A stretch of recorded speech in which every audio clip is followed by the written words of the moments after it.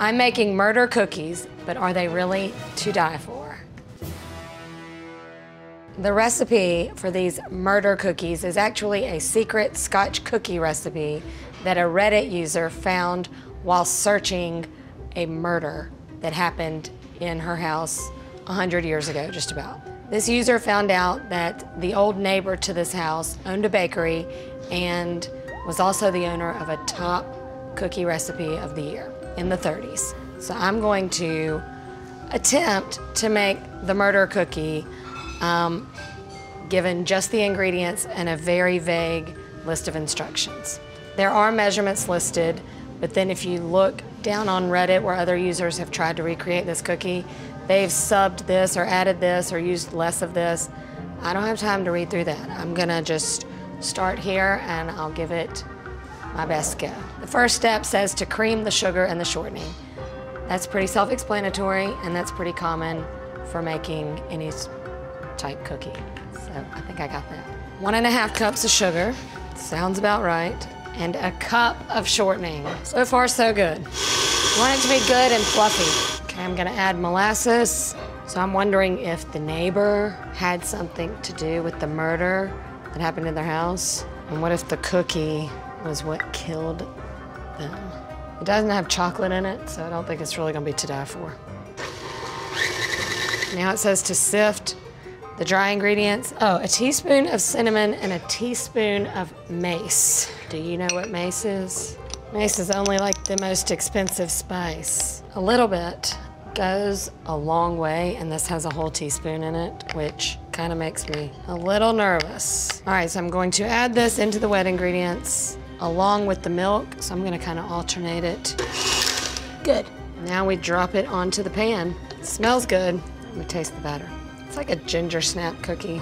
Drop them by tablespoonfuls onto greased sheets. So far, I don't really see what's so special about this. This would probably be a good holiday cookie recipe. Now, the picture of these online are not that perfect. I'm gonna try to make mine a little more uniform because I take my baking very seriously. Roll it just a little bit. Press down lightly with a floured glass. I'm just gonna use a floured spoon. You get the idea. The last line says bake, but do not overbake. There's no temperature or time. So I'm gonna go in with the first sheet. My oven is preheated to 350. I've got 12 on here. They're not all quite the same size, but I'm not a very consistent person. We'll check back in like 10 minutes. All right, here they are. These do not look quite like the picture. So I bet if I would have chilled my dough first, um, they might not have spread so much. But if they're still like chewy and gooey in the middle, then I'll be okay with that. Doesn't really give you a lot of description on Reddit as far as why people love these so much or what made theirs special. I'm going to cool them. I feel like they are gonna be kind of chewy in the middle like a sugar cookie or a chocolate chip cookie. I don't want them crunchy like a ginger snap. I'm gonna chill this batter and give it another go in a little while. I mean, they're still warm, but it's good and soft, still in the middle for the ultimate taste test. If I die, then you'll know why.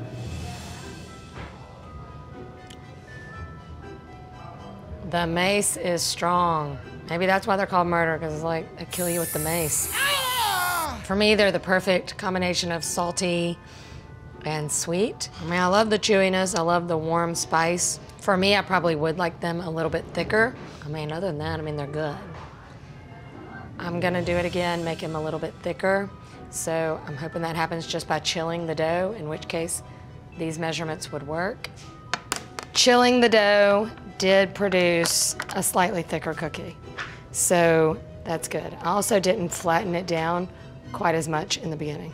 Duh. So I know they're gonna taste the same. There's really no point in doing another taste test, but I don't think my verdict is gonna change. This way it's gonna be better because it's gonna be a little bit chewier and thicker. But at the end of the day, no one is dying for these murder cookies. If you'd like me to try out some more crazy recipes, don't forget to follow us on YouTube, Instagram, and Facebook.